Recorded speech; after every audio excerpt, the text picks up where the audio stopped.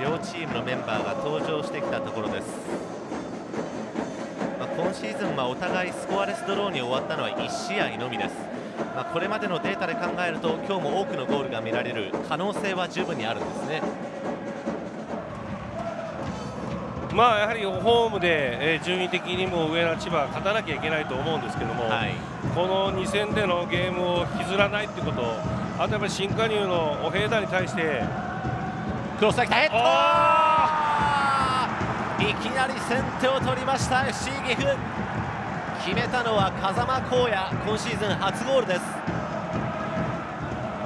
いやシンプルな左サイドからのオープン攻撃だったんですけど、はい、まあここで抜き切るまでまあ面白いタイミングでクロス上げましたよね、えー、クロスの精度が高かったですねでキンボヨンが行くのか乾が行くのかその辺のところがちょっと中途半端になったところ、はい、今のウヘイダになんとかしろっていうのはちょっと難しいと思うんですよ。はい。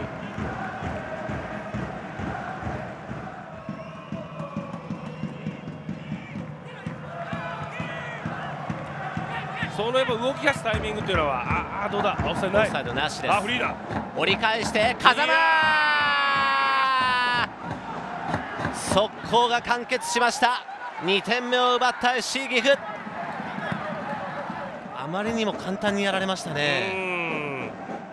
右サイドに展開した、まあ、ここで数的優位を岐阜すぐ作ってるんですよね、はい、で仕掛けてここのラインが微妙だったんですけどもキンボビョンの、まあもうえー、体勢みたいにするとオフサイドとセルフジャッジが体を止めましたか。にしても風間を不倫しすぎですよね。風間は、まあ、今日が今シーズン初得点なんですが一気に2ゴールです。これはよく前入りましたね。入りました。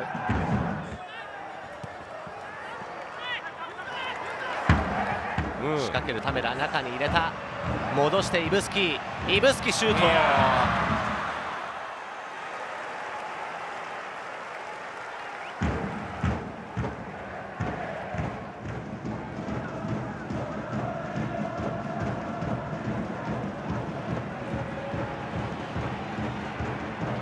ブスキーイブスキー後ろからサポートして折り返す。シュートだ!アランダが決めて1点を返しました千葉。クロスがちょっとディフレクションでコースが変わりました。なので、まあ、狙ったコースはなかったと思うんですよ、はい、まあ、ここでうまくイブスキー入れ替わったんですよね、えーメダがこの後のボールを拾って折り返しましてそれがちょっと相手に当たって、うん、はい、あ手にも当たってたんですね。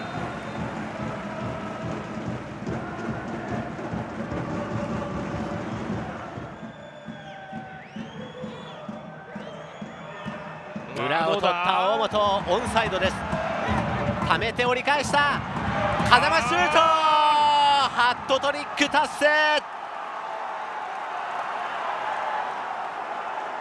うまくためを作ってのラストパス大本。それに応えました風間光也。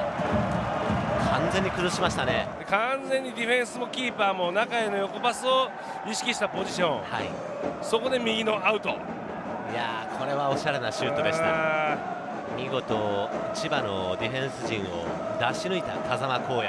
ハットトリック達成です。熊谷アンドリュー。佐藤佐藤優斗。おっとこぼした。なんとか事なきを得ました。そんなに難しいシュートではありませんでしたがこぼしました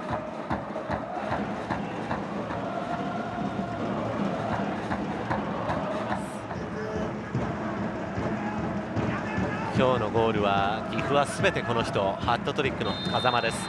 試合終了。FC 岐阜5試合ぶりの勝利。敵地福割で挙げました。